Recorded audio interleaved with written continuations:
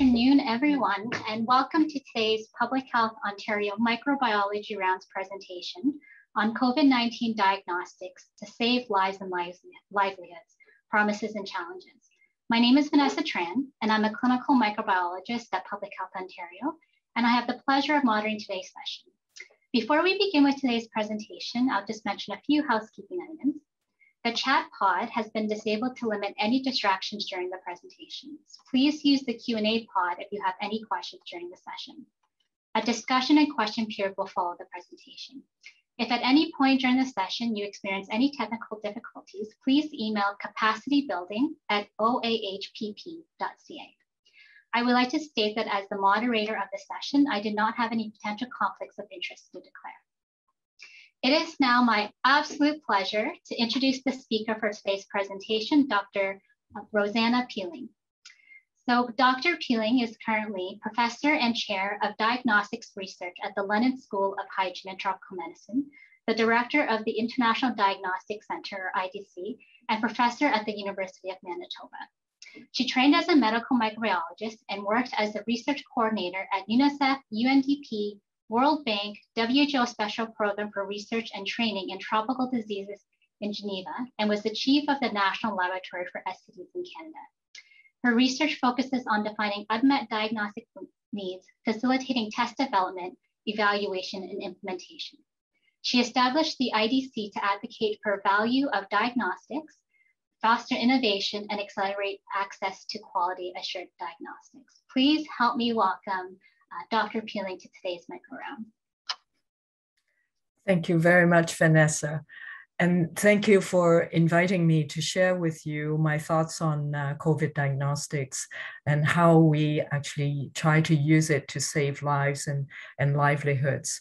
Um, and, and my focus has been for the last year or so uh, a global focus, especially to try to um, help a lot of developing countries that uh, have uh, limited access to diagnostics. Okay, so to begin with, I, I just like to acknowledge um, this uh, special term of use uh, for Public Health Ontario, um, and that uh, uh, Public Health Ontario assume no liability from my presentations or owner of the content.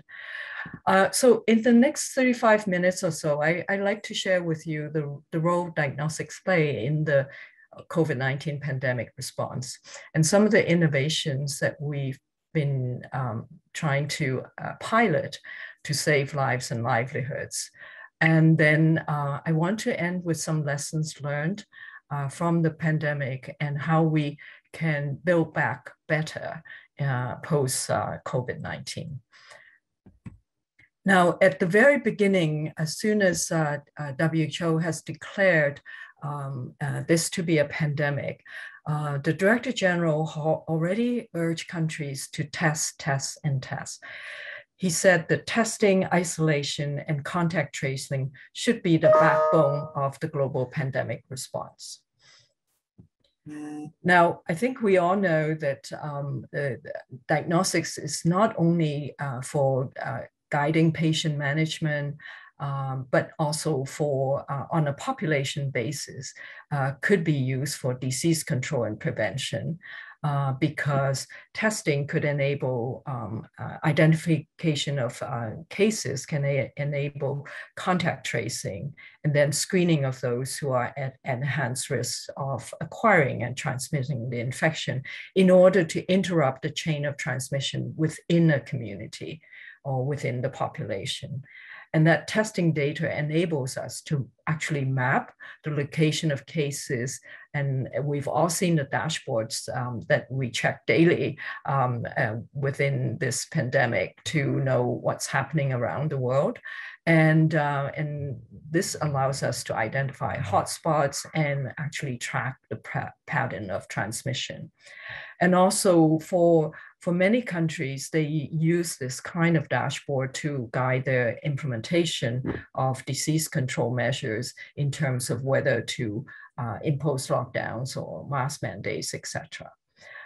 Now, for the COVID-19 pandemic, we've never had such an enthusiastic response from industry. uh, if you look on the left hand column, you would see that we have almost a thousand different tests that have been developed for uh, for this particular uh, disease, and uh, we've never had that, not even for HIV.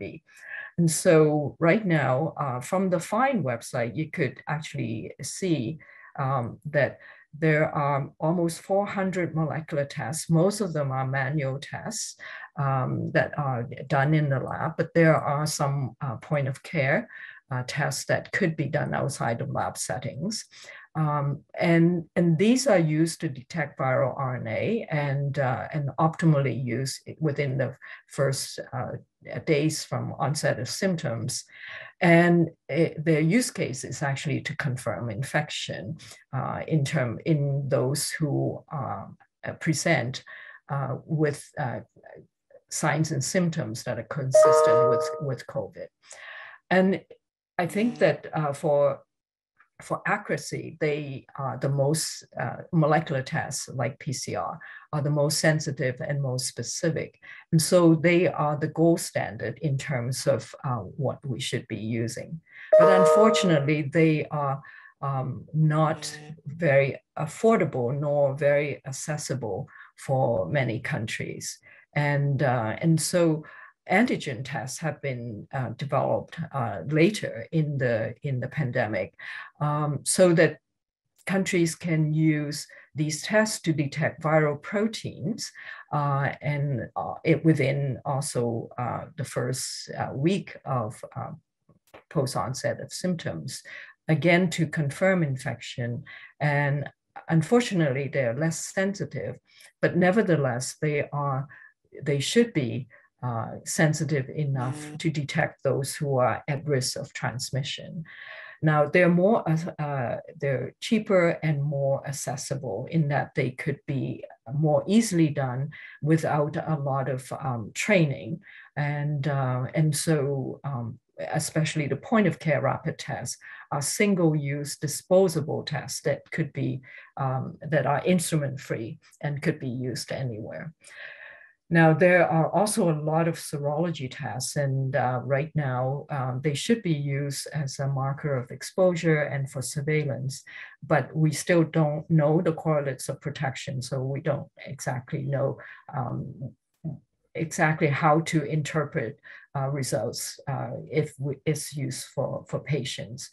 Um, and these are the, the kinds of tests that we could use uh, for the pandemic. Now, there are a lot of these tests are not very good quality, so it's really important to make sure you have um, uh, uh you have evaluation data on their accuracy. WHO has only uh, given uh, emergency use authorization to 16 molecular tests and three antigen rapid tests. Now, the role of diagnostics um, has really evolved over um, the last uh, year uh, or so. At first, because um, the pathogen is new, diagnostics after uh, the molecular tests were uh, developed, the diagnostics were used to try to refine the clinical case definition for COVID and also to test all symptomatic uh, individuals to enable public measures to be um, to be instituted to interrupt uh, uh, transmission, as well as uh, used to determine the extent and the speed of transmission of this new pathogen within a population, and also to conduct studies to understand the modes of uh, transmission. And so um, in the early days, um, some countries tested all contacts of confirmed cases, uh, but others did not. But with these um, studies to uh, test contacts, and uh, it, we then realized that there was a lot of asymptomatic or pre-symptomatic uh, transmission. And so the second phase in terms of the role of diagnostics is that now that we know the transmission within a community could be um, uh, actually from asymptomatic or pre- symptomatic individuals, we need to think about how to scale up uh, testing. Uh, but many countries, um, it, already in, in March and April started to impose lockdowns to try and slow the spread of COVID in order to save healthcare systems from being overwhelmed, especially intensive care beds. And so um, there's a, a, lot of countries that could not afford to uh, put in lockdowns. And so because a lot of their population depended on going out to, to make a living. And so um, there are a lot of efforts trying to scale up testing, especially in, in developing countries. And how could we do that? We started with um, helping them to screen populations at enhanced risk of acquisition and transmission, such as healthcare workers, care home workers, and first responders. And then uh, starting to use um, tests for travel, and occupational groups outside of healthcare settings, such as in, in Canada, um, I think meat packing plants uh, outbreaks and, uh, and uh, other uh, care settings. In Europe, mink farms, etc.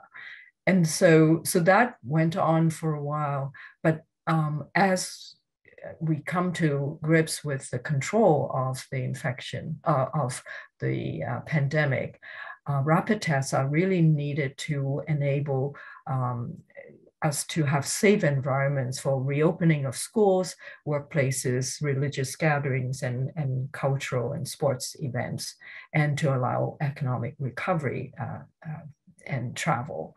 And so, um, but then we're complicated in this phase by having uh, variants of concern that are um, increased risk of transmission and also uh, the speed of transmission is, is really um, um, uh, increased a, a, lot, especially with the Delta variant. And um, but then we have vaccination that um, with the rollout, maybe the demand for testing may increase, but it's now important to think about surveillance and to track the uh, variants concern. So in terms of um, uh, just detection of um, cases uh, in symptomatic uh, patients presenting for care, this is a WHO algorithm, which is not unlike the Ontario one that I've seen, uh, which is that you start uh, using molecular tests and uh, if a patient's positive, then it's confirmed that they have SARS-CoV coronavirus 2.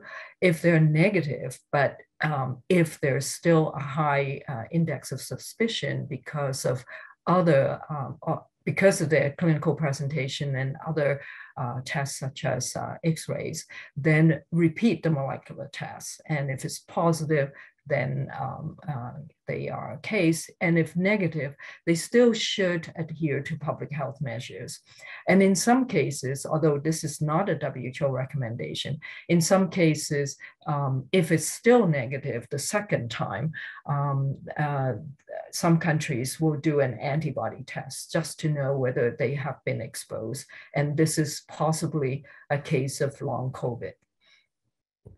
Now, there are many countries that actually have very limited access uh, to molecular testing because of the global competition for, um, uh, for tests and for reagents and even swabs. And some countries like Zambia ran out of swabs very early on and couldn't do any testing.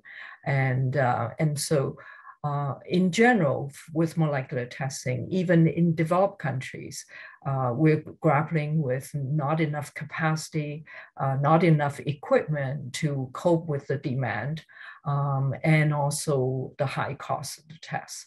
And the results, because of the high demand, would take normally would take hour and a half or two hours to do a run. Now um, it could be taking days. And even though they are point of care tests, their supplies are limited by the speed of manufacturing. A lot of the um, uh, companies like Cepheid and Abbott said that they could only um, manufacture so many devices and cartridges per month. And, uh, and so um, many countries have very limited access. So um, I, I think in terms of the weight, for molecular testing, even though it is the most accurate. I want to give you an example of what happened in Kenya.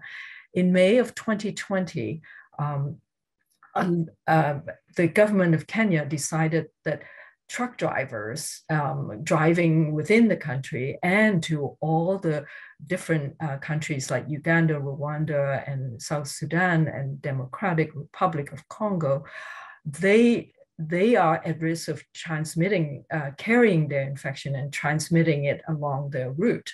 And so um, uh, they, the government of Kenya wanted all truck drivers to be tested uh, to, and have a negative result before they could leave the port. And because uh, Kenya has only a few hubs where uh, molecular testing can be done, the, um, the, the truck drivers were waiting as much, uh, as long as two weeks for, uh, for their test results to come back. And so um, there was a huge congestion at the port of Mombasa and no goods were moving, especially essential goods. So the International Organization for Migration uh, in July stepped in, uh, providing a, a, high throughput um, rapid um, mo uh, molecular test, PCR test, in order to ease the congestion and make the results available within 20 four to 36 hours. And, um, and so, so this illustrates to you, not only do we need to look at um, a, a, test being available and accessible, but also the time to result is really important in a, in a pandemic. Now, so that's driven a lot of the development of um, simple um, point of care instrument type tests. So there are antigen tests that could um, uh, uh, that are instrument based, and um, and here there are some that uh, can take as little as uh, 12 minutes to get a result. Uh, now this data is all company data, so um, this this is not independently evaluated data. But the problem, as I mentioned before, is the um, uh, manufacturing the instruments that could be a problem, even though maybe the strip is a lateral flow strip.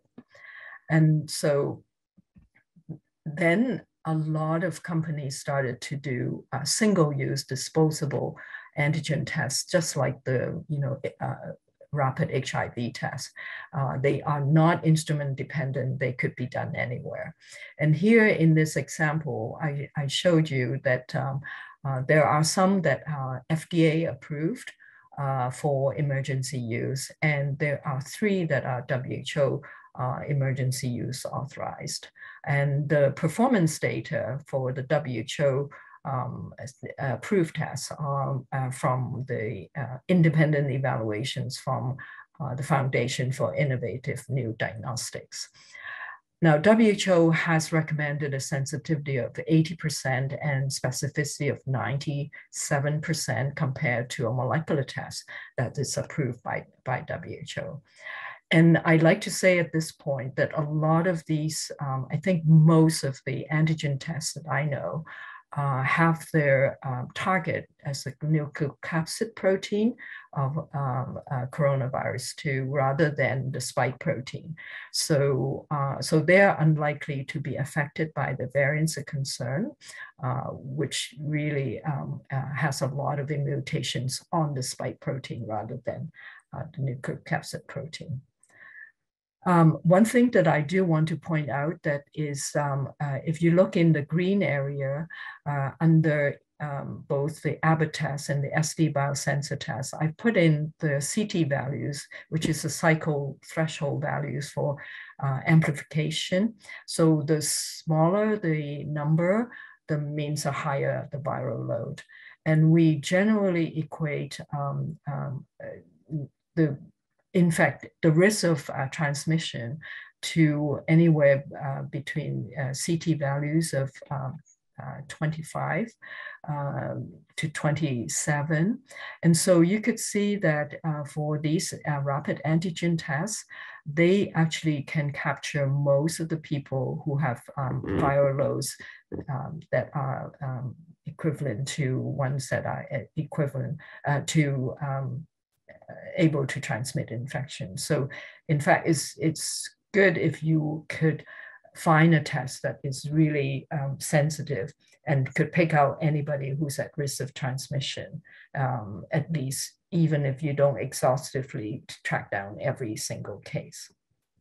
And these tests are um, right now uh, for for these rapid antigen tests in the US, you could buy them uh, $20 for a box of six tests. Um, I don't know what the prices are in Canada, but in general, you could buy them over the counter for about two uh, to two and a half dollars US. Now, in some countries, um, such as Cameroon, they know that they cannot afford to lock down, uh, but they want to minimize uh, mortality and they want to be able to uh, control the spread of infection. So what they decided is a national algorithm that used rapid antigen tests as a starting point. And so if anybody is positive with the uh, rapid antigen test, they're considered a case. If they're negative and the person is symptomatic or at high risk, then um, a PCR test is uh, done on, on those patients as a reflex test. And um, if they're asymptomatic, then they're uh, considered not a case. And if the PCR test is positive, then they are considered a case. So instead of starting with a PCR test, they start with an antigen test and supplement uh, anybody who's negative uh, with a PCR test. And that way, they actually um, said that with a population of 26 million, they were able to have, um, detect uh, 80,000 cases and 60% uh, of them were detected with the antigen test. So in doing so, they actually saved a lot of money. Uh, so that and and also the the demand on uh, PCR, so that the results from the PCR could be um, uh, returned a lot sooner. Now, in scaling up um, a rapid test, I, I think that um, we need to, uh, I showed here a lot of the um, references that um, uh, document asymptomatic transmission. And also the fact that this silent uh, transmission within a community needs to be addressed. Otherwise, it becomes the Achilles heel of current strategies to control COVID. Now, in thinking through how you could do that, uh, we're starting to move uh, from testing in healthcare settings in order to save lives to testing in non-healthcare settings to save livelihoods. Uh, and what we needed to do is to have a much broader uh, framework for policy consultations so that we're not only consulting with within uh, public health uh, and healthcare sectors, but we're consulting with departments of education, civil societies, finance, trade, tourism, and, uh, and border securities. And there's a lot of context in terms of um, uh, testing in the community uh, that is uh, based on political, cultural, social, and economic. And I especially want to say that it's really difficult to test in communities uh, outside of healthcare sector, sectors um, because in many countries, unlike in Canada, um, they don't have any uh, wage compensation if a person's positive and test positive and have to stay at home. So a lot of people would rather not be tested and be found to be positive uh, because they don't want to have to stay at home because then um, there's no way to, to make a living or to feed their children. And so um, I think somehow we need to remove these disincentives uh, for testing and to convey our um, strategy in very clear and compelling messages to the public. And, and so I think that um, this uh, phrase to, to use rapid tests to save lives and livelihoods actually came from the Director General who made an appeal to countries in September of last year to make 120 million affordable quality assured rapid tests to be available for low and middle income countries uh, so that we could uh, use it as a diagnostic tool, but also use them as um, public health tools. And, um, but there are significant problems with logistics, with uh, training a lot of people, and also um, making sure the quality of the uh, testing is good, and also trying to capture data Um, so I'm just going to give you some examples of what's been done in different countries. But before I do that, I just like to point out um, that I think um, in unlike for symptomatic patients, when you have testing of asymptomatic patients whose pretest likelihood of testing positive is low, you may end up getting uh, more false positives than real positives, even if your test is very uh, specific. And so it's important to note that for symptomatic populations, you, you try to do reflex testing on negative uh, antigen uh, people test negative uh, with an antigen test. But for asymptomatic individuals, you need to test, uh, do reflex testing for positives to try to avoid false positives. Uh, these tests have very good negative predictive values. And so um, this is something that um, I gave some references at the bottom, especially the Watson one, uh, which is in BMJ. They have an interactive um, tool for you to interpret um, your test results. Uh, if you put in your test sensitive, uh, test accuracy and your pre-test likelihood. I also want to give a shout out to the uh, nice uh, article in the CMAJ about use of uh, rapid antigen screening uh, as a public health tool uh, by, Alice, uh, by Schwartz and Allison McGeer um, in March of this year. Now, test to protect the vulnerable uh, and to save lives. The, this will be healthcare workers. Um, uh, we need to think about how who to screen, uh, how often to screen, and what tests to use. And so uh, I think we want to look at uh, screening healthcare workers, uh, elder home worker, care workers, essential uh, frontline workers and also people who work in uh, uh, public transport. And, um, and, this is to protect the, the vulnerable uh, and, and people that they may care for. And so um, there's some modeling that's been done to um, see how you could grapple with the, the three A's of accuracy, affordability, uh, and uh, accessibility, also time to result. And this um, table that I showed you is from uh, the paper by, by Chin et al. Uh, on uh, use of um, antigen testing in high-risk health healthcare environments. Now, they the model is based on daily testing, which is uh, quite uh, frequent. Uh, I don't think there's many places that do that. Um, but in their model, they show that even if you decrease the test sensitivity by 20%, the effectiveness is um, not decreased very much. But the test, the time to result, uh, really significantly uh, um, decrease the effectiveness. If a delay of three days uh, it goes from 85% to 57%. In this five days, it's 85% to 26%. So time to result becomes really important. And so um, the what test to use then um, means that if molecular test turnaround time is suboptimal, then you should be using um, uh, antigen, rapid antigen test. There's also uh, a a modeling group at Harvard uh, headed by Mike Mina, and uh, and they showed that um, that the for screening um, test sensitivity is secondary to frequency of screening and turnaround time.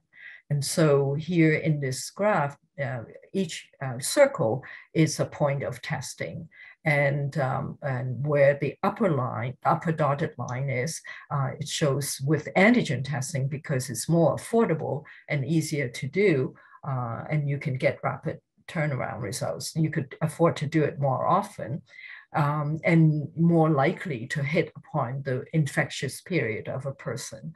Whereas if you are thinking of PCR and, um, and can only do it uh, infrequently, then it, you may miss that infectious period altogether. And so it, it is really important to think about these as you think about how to use antigen tests. So there are um, also ways that you use um, tests to release uh, from quarantine uh, to save livelihoods. And I want to use travel as an example to show the interaction between um, you know, how you use tests and, and quarantine. And so here's a, a model from um, the, the Alex Cook's uh, group in Singapore to try to uh, look at the effectiveness of different strategies for testing and for quarantine.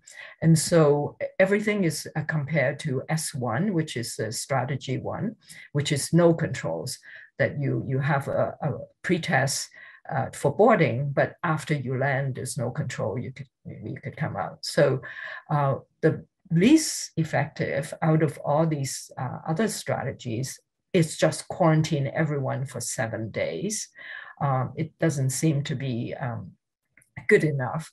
Uh, the next one is testing on arrival, but just denied entry eh, of any pers person who's positive. But because it's a single time point that you test, so the, it's not that effective either.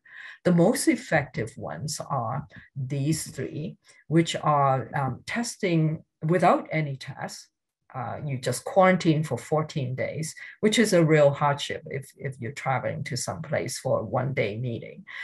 Uh, but if you can combine testing with quarantine, uh, when you have testing on arrival and you anybody who's positive uh, quarantine for seven days um, uh, uh, with a test to release, then it could be as effective as testing on arrival and quarantine for 14 days.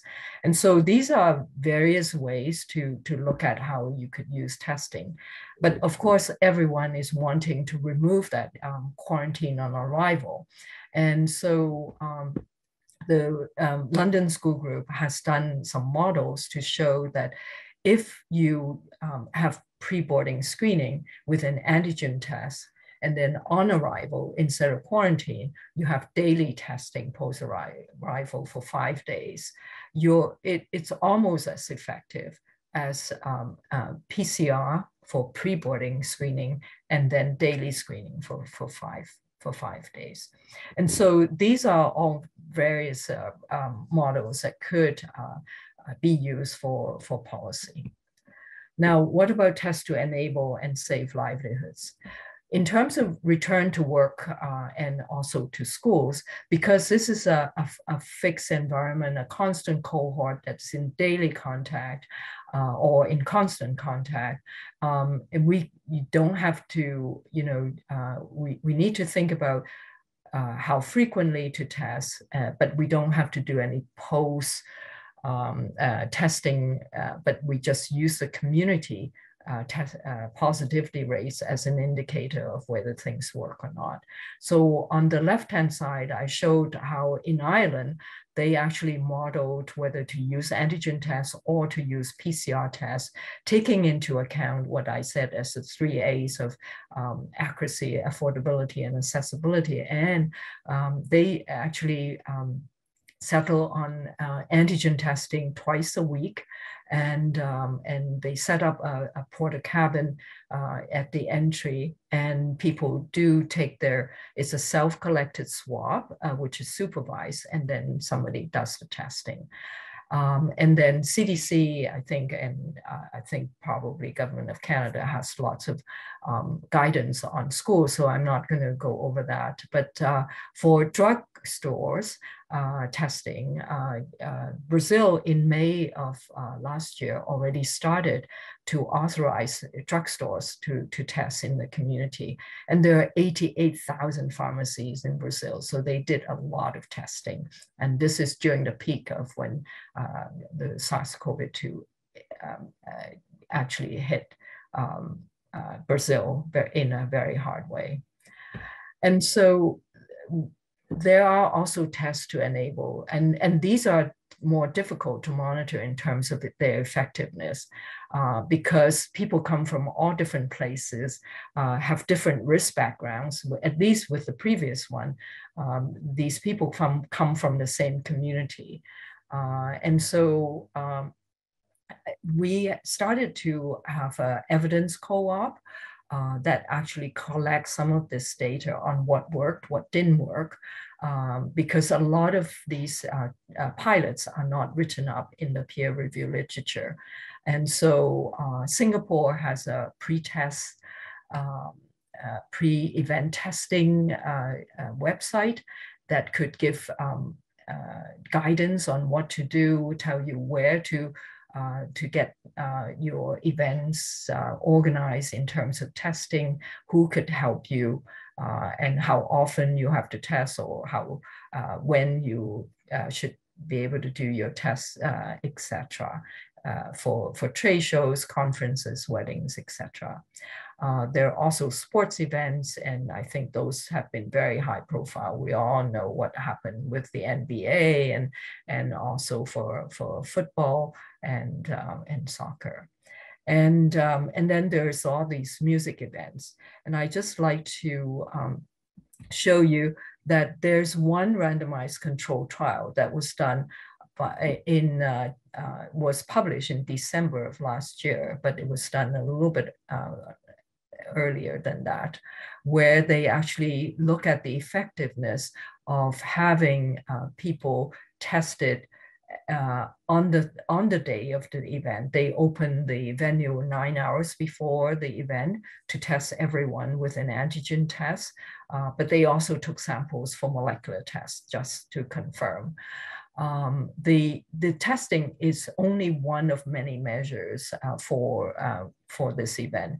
They do temperature checks. Everybody has to wear an N95 mask, but they are allowed to uh, sing and dance as they, they want and to, to mingle.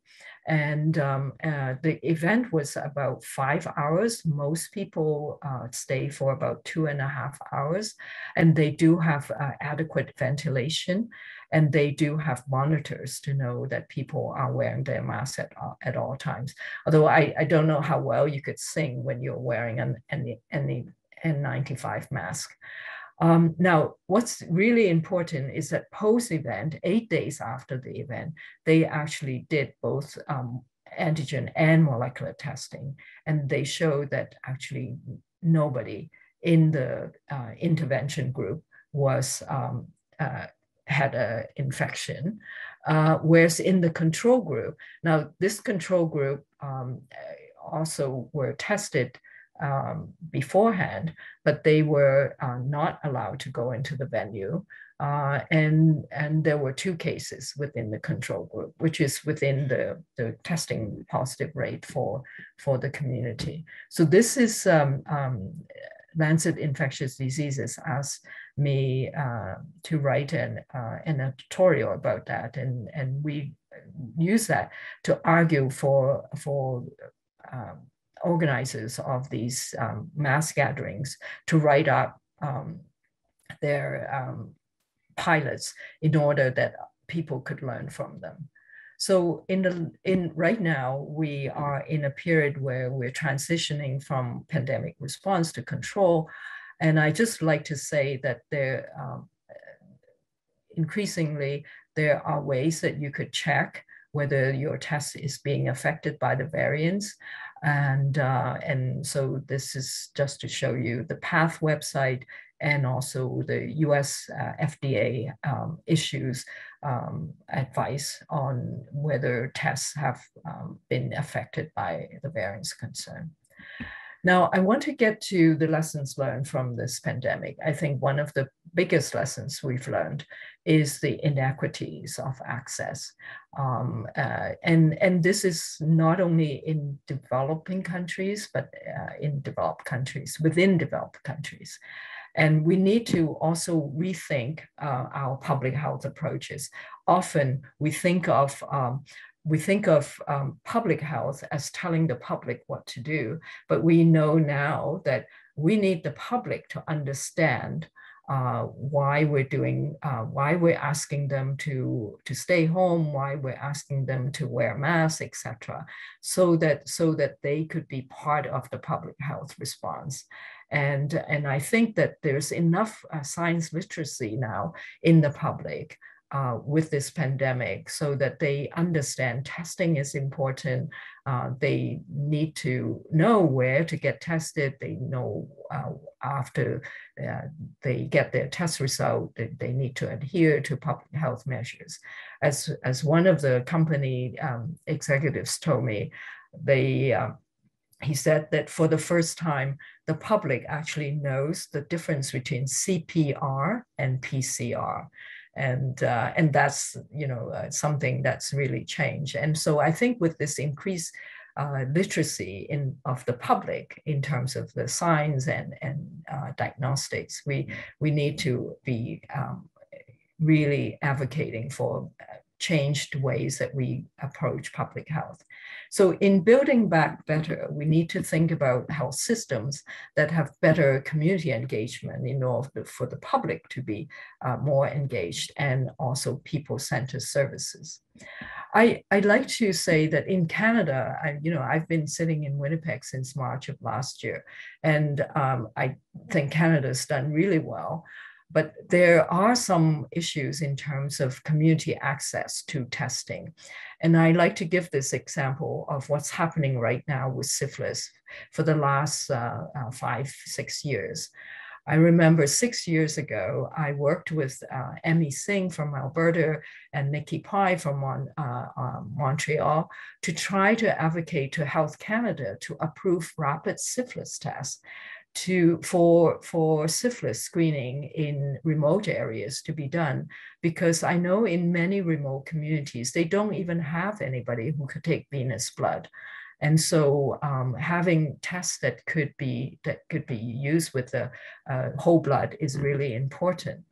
Uh, but unfortunately, Health Canada declined and would not, even though I gave them all the data that I acquired when I was working at WHO on uh, in, um, introducing rapid syphilis tests across the world.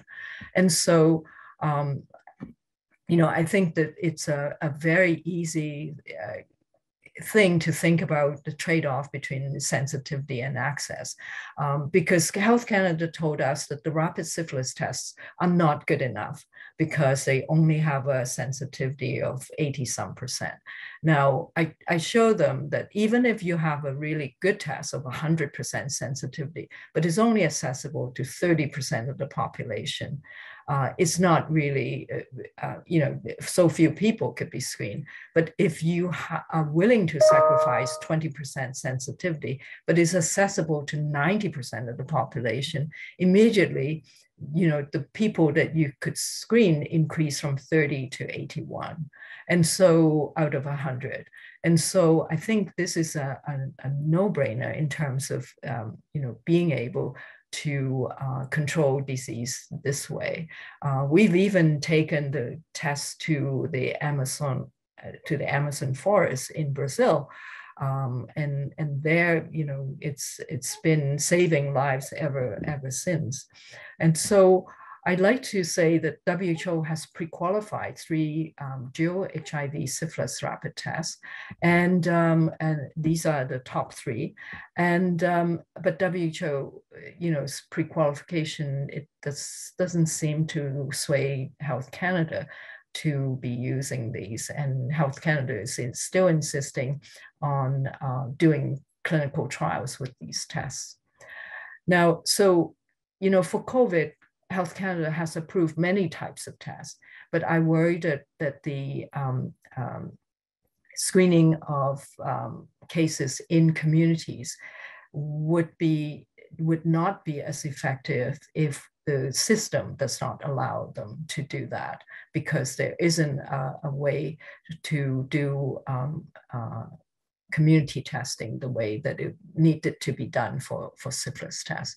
So um, in the end, from the pandemic, I like to advocate for building back better in Canada uh, to have uh, not only uh, a really good system, healthcare system that's envy of the world, uh, we needed to instill within that system a connected diagnostic system that could form the backbone of the healthcare system, that becomes the eyes and the ears of the healthcare system to know uh, unusual uh, disease patterns that are happening that may be potential uh, outbreaks or you know to find out the syphilis outbreaks before they become uh, such a, a, problem in Canada, and mm. so that's my um, um, my plea for post-COVID in Canada, and that the lab could uh, act as a command center because with the introduction of point of care testing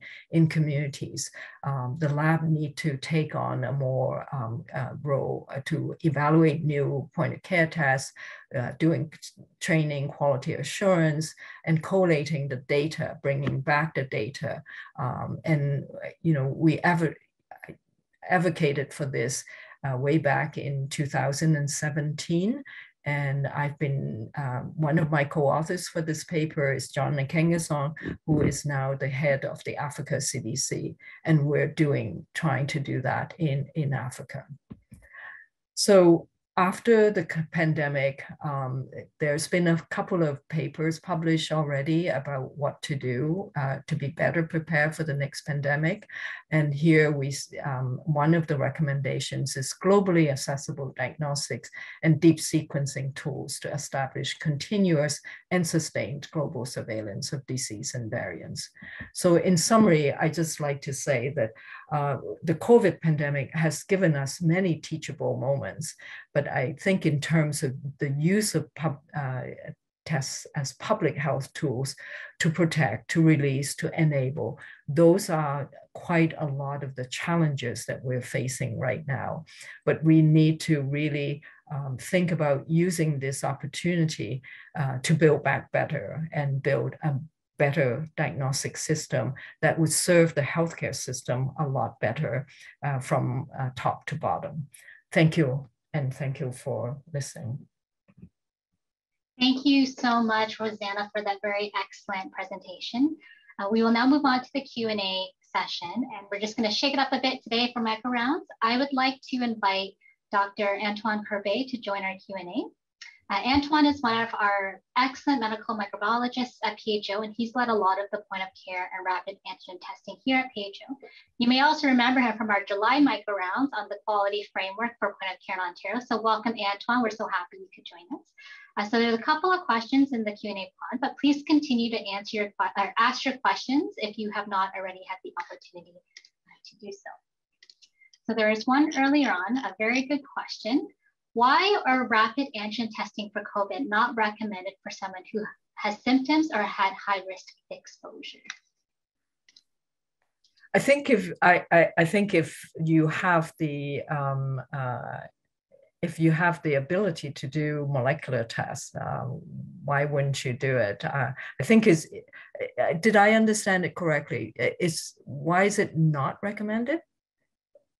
Well, if, if you have a, a molecular test, you, you should certainly use it uh, because I think in the early days of the pandemic, we're trying to uh, refine the clinical case definition. We're trying to count every case in order to know what the pandemic looks like, right? And so, uh, in I mean, to this day, I think if um, uh, we we still want to be able to know uh, what long COVID looks like, uh, whether there are unusual things that we we never pay attention to, you know, things like um, the loss of sense of smell, etc. I mean, that's only because we we you know are trying to track down every case in order to know all the manifestations uh, of um, the disease, right? So, so I think that's why we don't recommend antigen tests in the beginning. But when we needed to screen communities, that's when we started to think, okay, you know, we really need more accessible tests and we need to sacrifice a little bit the sensitivity in order to do that. So in Ontario here, we only recommended for asymptomatic screening. I don't know, Antoine, if you wanted to address some of the considerations around that implementation. Exactly. Thank you, Dr. Peeling. Thank you, Vanessa, as well. Um, exactly. So in the province, we are uh, recommending um, antigens testing for only for screening for those that are less at risk. For those that are at higher risk that have symptoms that have a high risk contact, uh, we are recommending molecular testing on the basis, as Dr. Peeling was mentioning, of uh, kind of seeing the breadth, the scope of the diagnostic uh, infection scale and, and the, the infections and the impacts of the infection itself, as well as the turnaround time. So the fact that we have a turnaround time that is uh, oftentimes within uh, 24 hours, for example, having uh, molecular testing on on um, on an acute uh, setting is still um, appropriate compared to antigen testing, which would be uh, beneficial to begin with. But most of the the individuals will still require PCR test, being in the higher risk category, um, and most people would have a negative antigen test um, from from the provincial um, testing positivity rate as well. Yeah, and and I think I, I like to say that although we we say that the antigen testing can pick up most people who are at risk of transmission, we're not sure, right? And so uh, I think if you have the ability to use molecular tests, certainly you should do that just so that you you are trying to capture everybody who's at risk of uh, transmission.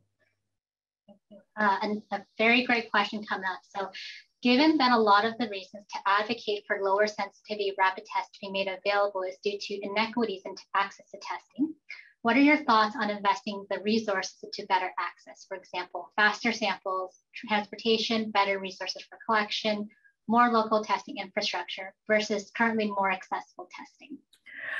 I, I think it's it's it's a, it's a great question, and and we've been struggling with it um, uh, for a long time. Is whether to um, uh, to build specimen transport systems versus um, uh, having rapid tests, uh, or you know building healthcare infrastructure to you know. Uh, I I think I think that there are um, pros and cons with each approach. On the whole, building infrastructure is much harder um, than you know because the the technology uh, is has been you know the advances in technology in terms of a faster tests, more uh, sensitive tests. That's really uh, been uh, you know uh, phenomenal in terms of uh, the early days of um, you know rapid tests not being very sensitive, and now you know we have many different technologies that could be could be faster, and and I think that. Um, in some countries, they think of rapid tests as um, being not sensitive. But that's not true. We, we now have molecular tests like the RPA, the recombinase, uh, you know, uh, polymerase uh, amplification test. That will give you an answer in 15 minutes. Um, and, uh, and also the Abbott, uh, the new Abbott test would give you an answer in 13 minutes. Oh, you know, and and so so I think the technology is, you know, really working very well in terms of uh, advances to make tests more accessible, faster, etc. But we also should be trying to build infrastructure as well, right? And so, so it's not either or. that's the that's the option that uh, it's often debated. Yes, absolutely. Antoine, I don't know if you wanted to add additional comments to that. I think building infrastructure is difficult at the best of times, and building infrastructure in the middle of the pandemic introduces additional challenges. Exactly. So that's something that we're always um, grappling with. So, so there's the theoretical aspect of it and, and the, the, the usefulness of testing, but then there's the whole implementation scale that can be quite problematic as well, um, and having reduction in in in, uh, in the effectiveness of some of the testing uh, suggestions that we have. So yeah, it's, it's always a, a struggle. So um, there's a couple of questions here that I'm going to combine. So uh, one is about, uh, it's around the false positivity of rapid antigen test. So what could cause that false positivity? And the balancing the risk of false uh, reassurance doing do it do often to the lower sensitivity of the point of care test versus need for accessibility. So in particular, there is a perception that people may be willing to do a certain number of tests. And so a test with high sensitivity would be preferred. So a two-part question, what can cause a false positive rapid antigen tests and, um, and balancing uh, this with, um, with the willingness to do testing. Okay, so so I think um, the the false positives uh, for um, with antigen tests when when you use it in an, uh, a population that is has very low uh, um, pre-test likelihood of testing positive. Um, that's something that is really difficult to avoid because even, even when you have a, a test um, that exceed the WHO recommendation of 97% specificity, even if you have 98% sensitivity, uh, specificity, when you use it in a population of like 1%, uh, prevalence, you're still going to get more po false positives than real positives. But um, when you use these tests as a public health tool, the major advantage is that you let the people who are negative into a venue, right? And so, so having to um, uh, having to have somebody who's uh, uh, false positive, uh, uh, uh, whose positivity rate has to be a result has to be confirmed um, that's just another story. But you know, if 98% of the people could go into uh, safely into a venue and and and be not be transmitting infection, the the two percent that that you retain and have to retest uh, or to, to uh, use a second antigen test or a fast molecular test to know whether they're true positive or uh, not. Um, that's a, a, secondary thing to, to what we want to achieve in terms of creating the safe environment. It, it's the same as um, using dogs to screen at airports.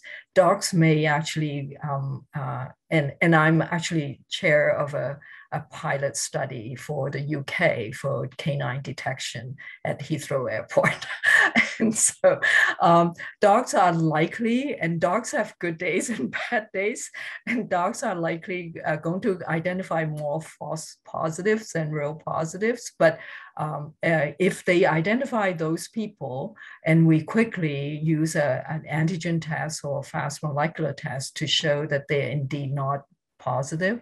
Um, I mean, that's a very, very uh, small um, inconvenience compared to 300 people having to go through, you know, testing, right, uh, at, at airports. So I think there's all these trade-offs. So the the I think the the second part in terms of uh, incentives for, for testing. There, there's now a lot of home tests that people, because people would like to know. I mean, uh, a lot of people said to me, I, I wish the testing center would take us uh, because uh, we go to the testing center and they say, you don't have symptoms, we're not going to test you.